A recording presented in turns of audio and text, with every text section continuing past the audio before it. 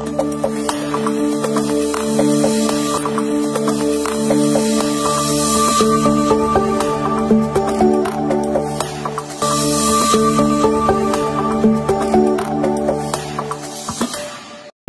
aduna kamoy legal nga problema nga buot ninyo og advice umatagan kamo katinawan, tumagon kana ni attorney Adonis Gumahad.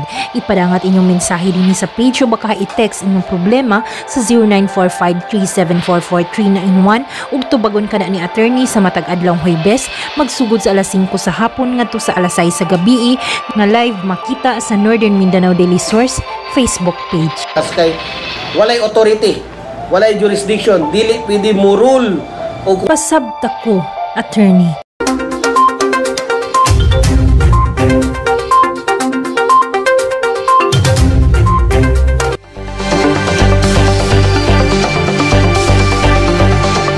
Ubos na sa Code Red ang Northern Mindanao Medical Center kung asa napasabot kini nga halos wala nay magamit nga kwarto ang maong hospital sa pagdawat sa mga bag-ong pasyente. Miapilar si Governor Bambi Imano ngadto sa katawhan sa Misamis Oriental nga tabangan ang mga frontliners pinaagi sa pagsubay sa mga hustong gabayan sa pakigbatok sa COVID-19.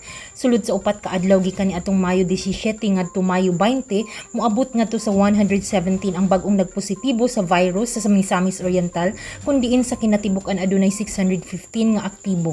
Ngayon, tabangan ninyo ang provincial government sa Misamis Oriental. Tabangan ninyo ang atong mga frontliners. Kagadi natin ay may video nga mubo kayong gipakita. Tanawa ninyo, kapoy-lapoy na taon. Basahan ninyo ang uh, press release sa Northern Mindanao Medical Center.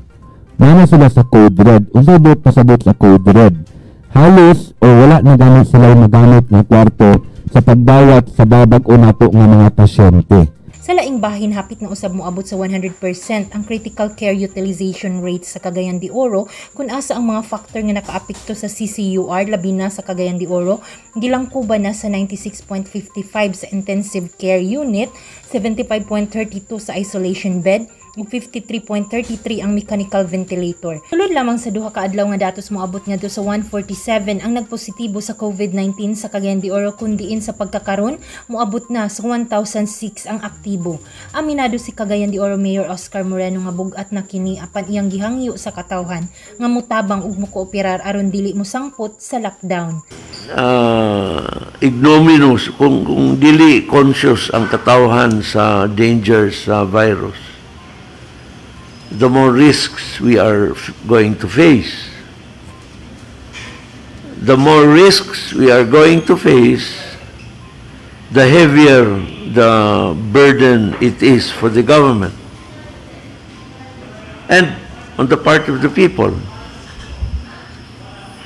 on the part of the people as well, no? Kay sakit ang ilang mahal sa kinabuhi. Now, if the virus continues to infect, uh, and the government is not able to manage the situation already, uh, dito kita paingon sa lockdown. Kini si Steph Berganyo alang sa Daily Balita.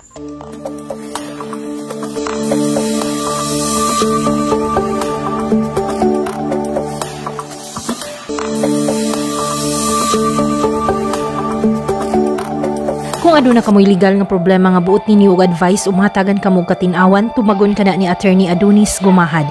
Ipadangat inyong mensahe dinhi sa page o baka i-text inyong problema sa 0945-3744391 ug tubagon kana ni attorney sa matag adlawng Huwebes magsugod sa alas 5 sa hapon ngadto sa alas 6 sa gabi.